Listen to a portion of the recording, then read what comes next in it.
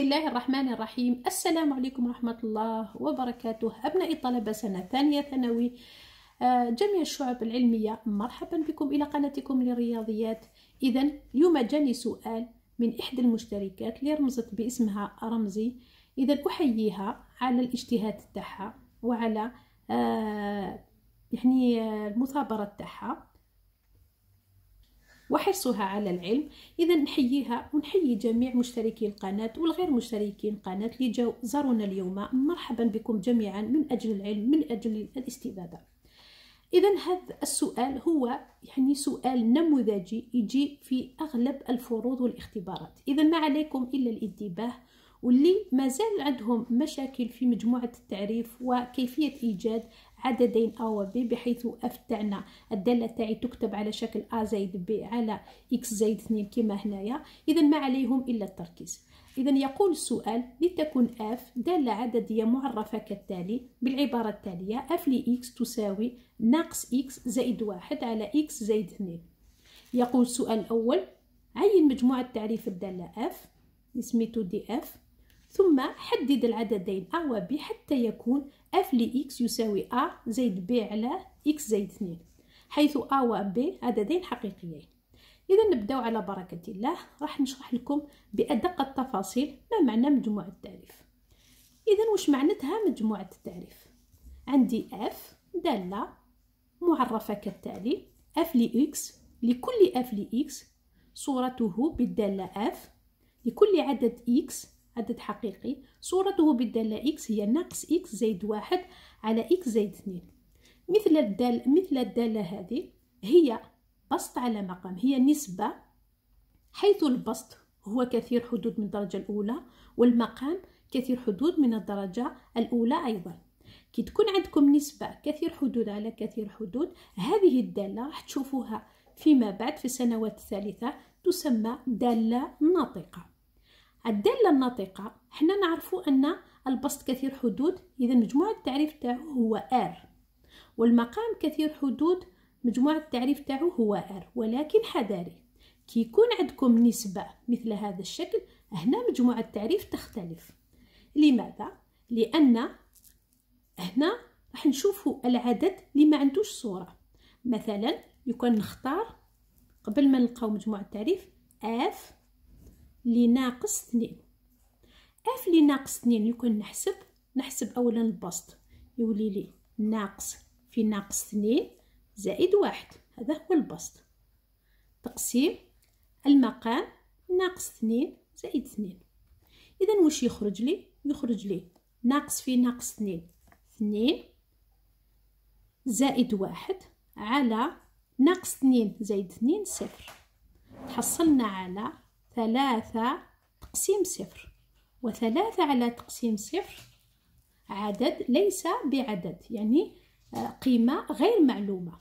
وبالتالي من هذا المنطلق راح نشوفوا أن السابقة ناقص اثنين ليست لها صورة. إذا ما عندهاش اف لناقص اثنين ما عندهاش صورة. وبالتالي راح نشوف مجموعة التعريف.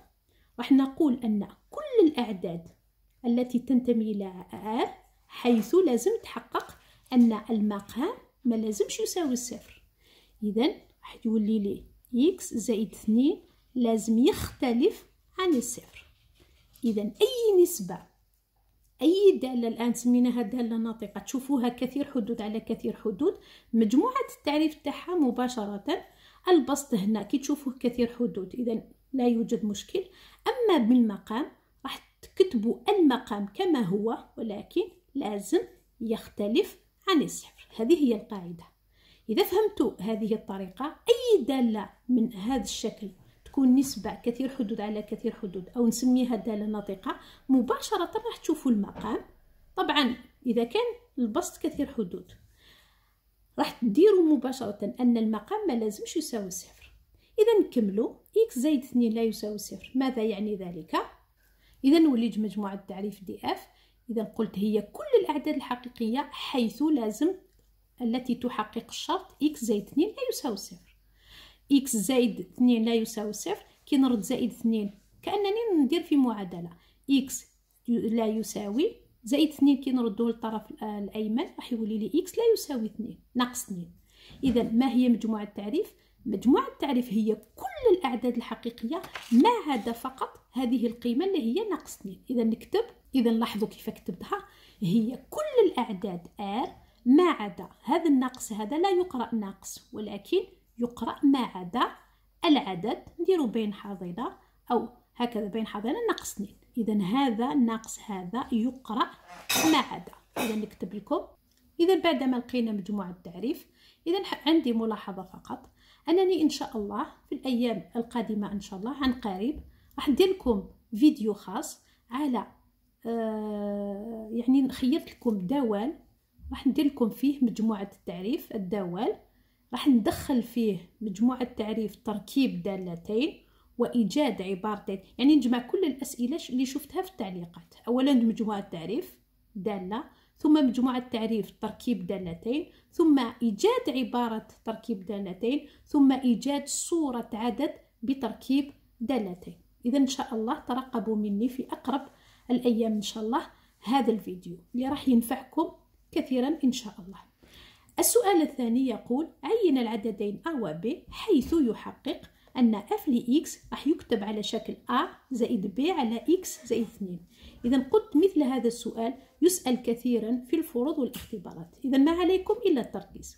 في الحقيقة هناك طريقتين لإيجاد B ولكن أنا راح نستعملكم حسب المنهاج حسب اللي درستوه الطريقة المثلى والأسهل. هناك طريقة القسمة الإقليدية تاع كثير حدود على كثير حدود. يعني نقسم هنا شوفوا عبارة f ل x. هي ناقص إكس زائد واحد على إكس زائد اثنين. يعني نقسم ناقص إكس زائد واحد على إكس زائد اثنين باش نلقاو الحاصل والباقي. أما هنا في هذا المثال راح نستعملكم الطريقة آه التي توافق منهجكم. إذا أبسط طريقة لإيجاد A و B أول شيء راح نوحد المقامات. إذا الخطوات هي أولا توحيد المقامات ثم النشر والترتيب حسب القوى وأخيرا المطابقة. إذا نبدأ خطوة بخطوة. أول خطوة هي توحيد المقامات. إذا فلنوحد المقامات. نلاحظ أن هنا A على شكل A على واحد. إذا المقام المشترك بين هي جمع كسرين. هنا A على واحد زائد B على X زائد اثنين. إذا ما هو المقام المشترك بين واحد و X زائد اثنين؟ إذا هو X زائد اثنين. إذا نكتب f لي x تاعي تساوي إذا بما أنني قلت أن x زائد واحد زائد اثنين هو المقام المشترك إذا راح نضرب أ في إكس زائد اثنين وندير المقام المشترك إكس زائد اثنين. إذا زائد وش يبقى لي؟ B عنده المقام تاعو x زائد اثنين خليه كما هو. إذا نكتب زائد B ثم بعد ذلك قلت الخطوة بعد توحيد المقامات هي النشر. ننشر أ في x زائد اثنين. نتحصل على f ل x تبعوا فقط معايا يساوي إذا أ في إكس تولي لي أ إكس. أ في x. أ زائد في زائد اثنين تساوي زائد اثنين أ. ثم نزيد زائد ب. طبعا الكل مقسوم على x زائد اثنين. إذا قلت تحصلت على أ x زائد اثنين أ زائد ب. إذا أ في x زائد اثنين أ زائد ب. اثنين أ زائد ب عدد. تقسيم x زائد اثنين. قلت أنه يساوي f لي x. ما هي عبارة f لي x؟ هي ناقص إكس زائد واحد على إكس زائد اثنين إذا أتيت إلى الخطوة الثالثة وهي المطابقة بالمطابقة وش نلاحظ؟ نلاحظ هنا عندي أ إكس يساوي ناقص إكس يعني معامل أ هنايا ماذا يساوي؟ يساوي ناقص واحد ناقص واحد إذا نطابق بالمطابقة راح نجد أن أول عدد أ يساوي ناقص واحد. ثاني شيء وش عندي؟ عندي العدد اثنين أ زائد ب إذا نكتبو اثنين أ زائد ب ماذا يساوي؟ يساوي العدد واحد. إذا نكتب يساوي واحد. ثم نحل المعادلة تاعي من الدرجة الأولى. أ يساوي ناقص أ ناقص واحد. إذا نعوض اثنين في ناقص واحد زائد ب تساوي الواحد. إذا اثنين في ناقص واحد. ناقص اثنين زائد ب تساوي الواحد. إذا كم يساوي البي تاعي البي تاعي راح يساوي ننقل ناقص اثنين إلى الطرف الأيمن راح يساوي اثنين زائد واحد. واثنين زائد واحد تساوي ثلاثة. أخيرا لقينا بي تاعي ماذا يساوي؟ ثلاثة والأ ماذا يساوي؟ ناقص واحد. بالتالي اف لإكس تاعي راح تكتب على الشكل التالي. تساوي ناقص واحد نعوض أ بناقص واحد زائد ثلاثة على إكس زائد اثنين. فقط إذا حبيت نتحقق أنني هذه العبارة هي نفسها اف لإكس ما علي إلا نوحد المقامات.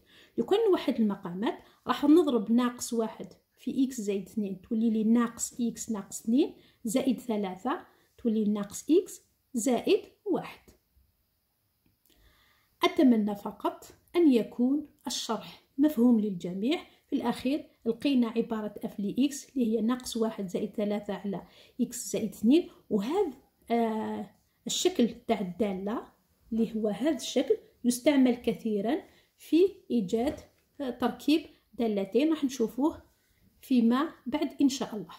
إذا أعيد لكم الطريقة بعجالة. إذا كي يطلب منكم إيجاد عبارة أف لإكس على شكل أ زائد ب على إكس زائد اثنين أول خطوة توحيد المقامات. ثاني خطوة النشر والتبسيط. ثالث خطوة وأخيرا المطابقة. إذا أتمنى فقط أنني وفقت في شرح هذا السؤال. إذا بالتوفيق للجميع وما علي إلا أن أقول لكم مرة أخرى أتمنى لكم كل الخير وكل يعني والنقاط الجيدة إن شاء الله. إذا مع السلامة وأستودعكم الله الذي لا تضيع ودائعه. والسلام عليكم ورحمة الله وبركاته.